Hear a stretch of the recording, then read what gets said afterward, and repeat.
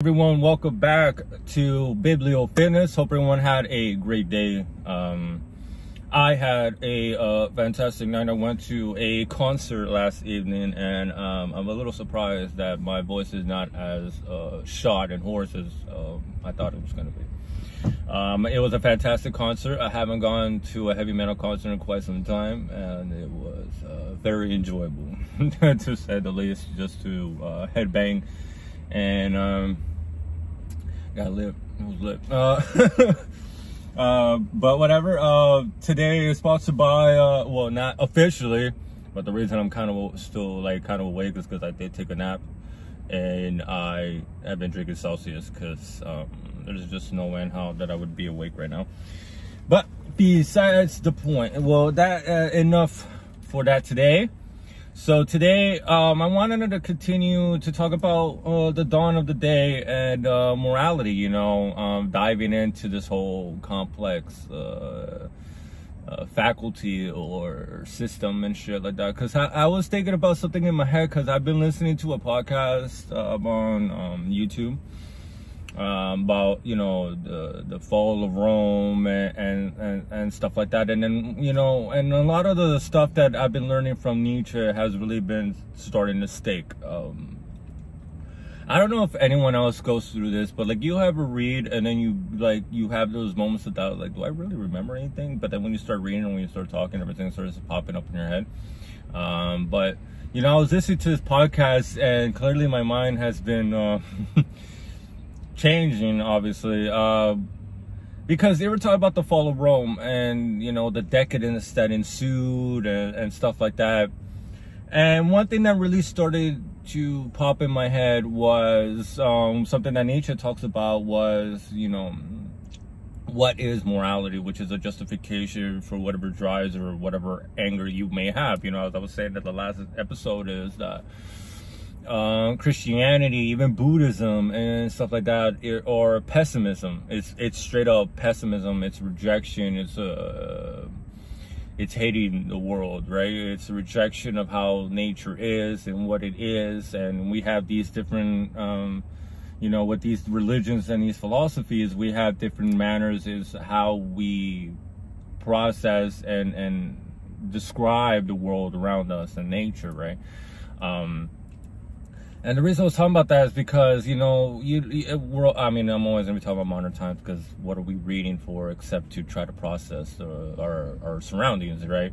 And you begin to realize that it is our morality that has caused us to be decadent. It is not uh, the decadence that has caused us to be weak. It is, it, you know, and that's the whole cause and effect and the causality thing that Nietzsche talks about as well, is that we have it confused that people think that we turn bad because of our decadence and it's not the other way around. It's that we are decadent because we're not healthy. You and i'm saying? Like decadence is a symptom and it's not the cause.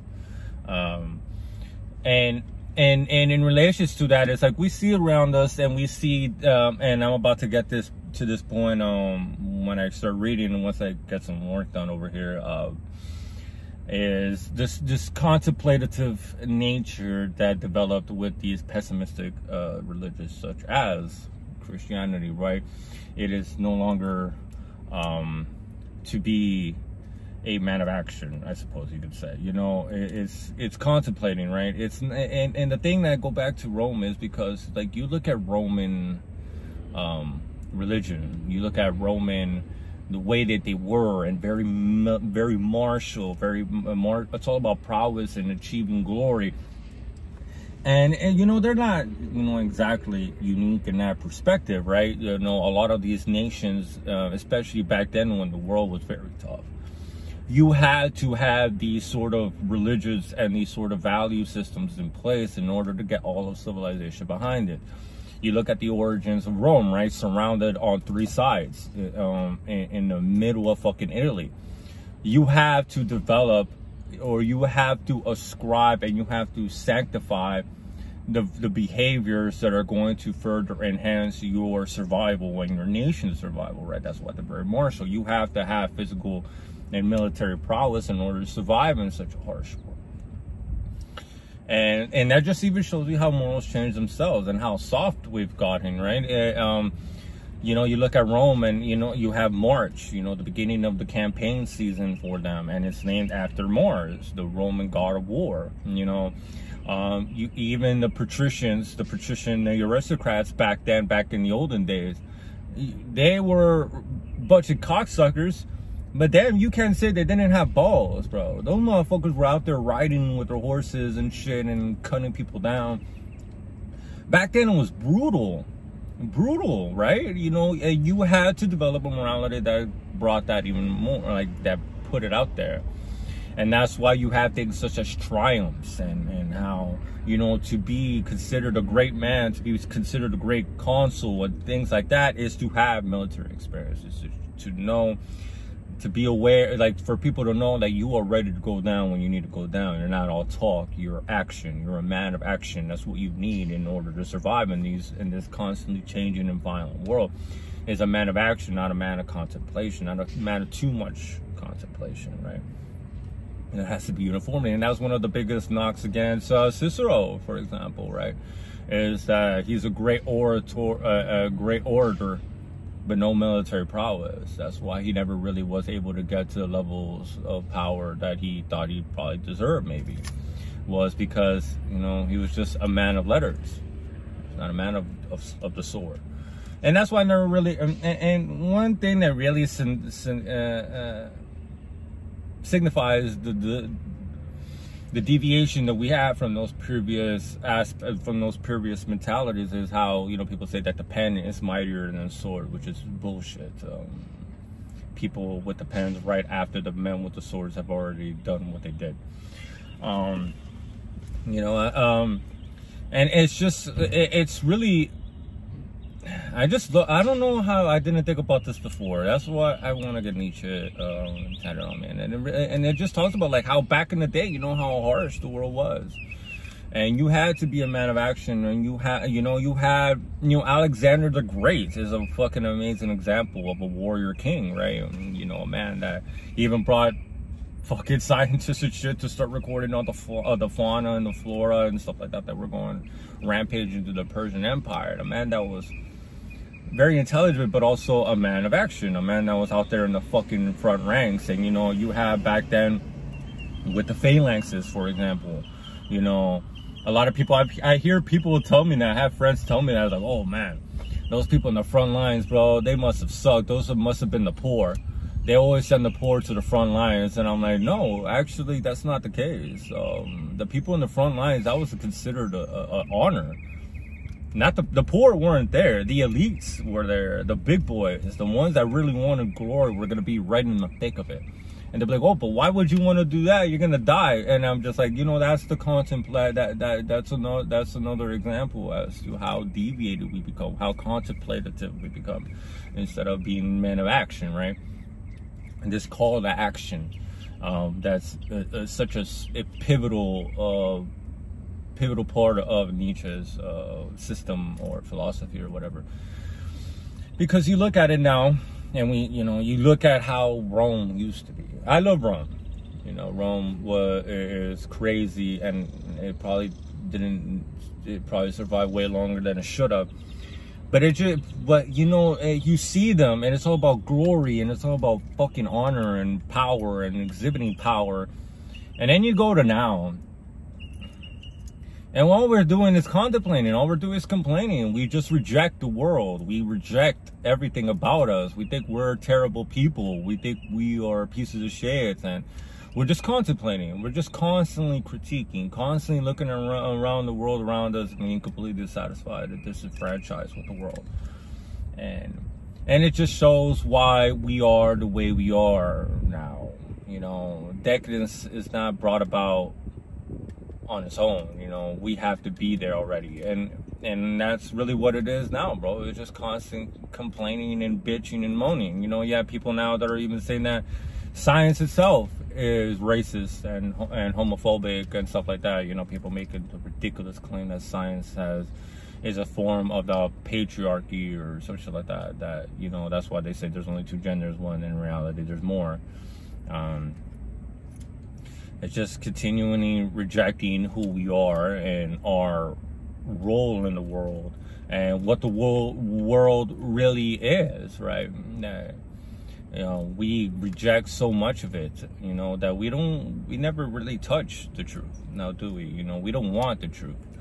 That's why people who who have shows or put out music or have a medium that talks about truth or tries to get you to get thinking in that way are never popular people. You know, they want people to be stupid. You know, and and and it's not even the, just the people in power; it's the people around us as well. You know, not many people, no, not most people don't want to contemplate the fallacy of their lives. You know, most people don't want to dive and dig in and realize how uh, how many constructs we have around us and how you know we always have these filters on.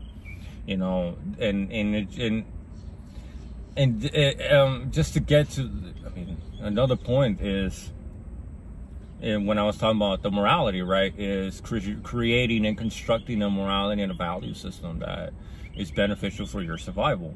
And back then, you had to create a religion that was focused on warfare and battle and honor in battle and dying in battle because that was the only way were going to survive. And you have to get people to go along with it. You have to get people excited and pumped up. And you know you had you have valhalla for for the norse you know dying in battle being being taken by um, by the Valkyries and such.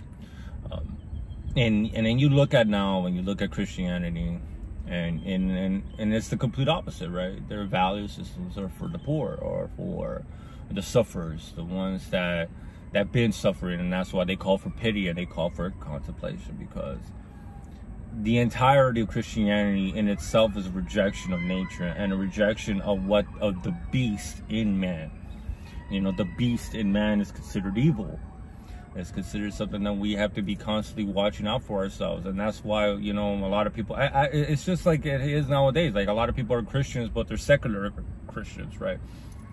And they're so revolted with themselves. They're so revolted with the world. And it just shows in in the behavior how we're constantly chucking shit out and we can't we can't accept anything. We can't agree with anything and it's like Nietzsche says that we can't digest anything. We have such a fucking slow metabolism that we can't deal with it. Like it just sits on our stomach and makes us want to vomit. And that just does not show a healthy individual, a person that's pulled. And a person a person that is constantly in fear of himself, constantly in fear of his passions or drives and stuff like that. When in the end of the day morality is nothing more than um, a screening really a filtration of your drives and in order for you to be able to sleep at night right? That's really what these things are at the end of the day. And so for me i want to go call back to uh, the olden days the olden morality of fucking battle and honor and and savageness and and and conquering you know and I feel like a lot of us men dealing with these anxieties now is because we no longer have that call to action. We never, we don't have that drive and that wanting to attain glory, going out to battle and, and, attaining glory. And I know I'm romanticizing war, and the only people that want war are those who haven't lived through it. Um, I'm not calling for war exactly, but you know, to be a man of action, a man that's willing to conquer, a man that is not terrified of his instincts, but embraces them, embraces the bad parts. So not even the bad parts. I don't even want to us are bad. Um, but the beast in us, right? The flaws, our jealousies and envies, and, and you know the those sort of behaviors that that even the gods in those times had. You know, it just shows you how much we loved ourselves and loved humanity, how much we embrace that animal in us that even our gods had those same behaviors. You had Zeus running around and you know being a whore, you know, whore, uh, whoring around, jealousy and malice and anger and all these things and vengeance and will to conquer. These were all synonymous with Greek Greek mythology and uh, Roman mythology and and it's just um and then you just look at it now you know, it's complete opposite. All about peace and love and about, an abolition of suffering. And it's just, it, it, it's despicable. And I don't want to ascribe to that. Um, And that's really why we're in the position we are today. You know, we're weak and pathetic because that's what the morality calls you to be weak and pathetic. And then people will say it otherwise because they're mis- they're interpreting it in a way that's beneficial for them. So you are just further uh, enhancing my points. You you are twisting shit that's beneficial for you. It's like people who are Christians and then they're constantly chasing money and want wealth and have big ass houses. And I'm like, what part of you is Christian? But whatever.